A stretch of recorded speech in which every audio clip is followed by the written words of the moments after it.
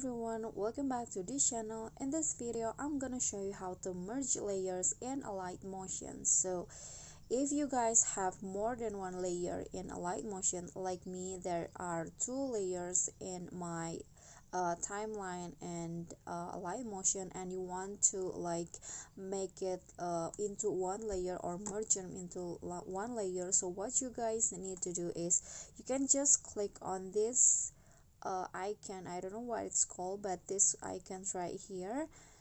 Click on that and then here click on select all layers and then here the layers will be like in a green uh, uh, background uh, green border right it is. And you can also uh, like manage the layers at the bottoms like this. You can adjust it.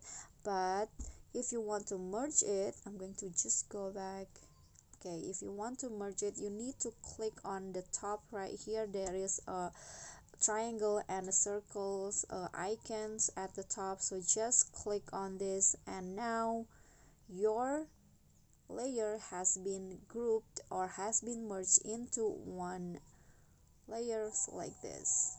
So i hope that's all the video will be helpful to you. Thank you guys so much for watching. If you get any question feel free to drop them in a comment. And if you think the video is helpful don't forget to click on like leave a comment and subscribe. I'll see you all in the next videos. Bye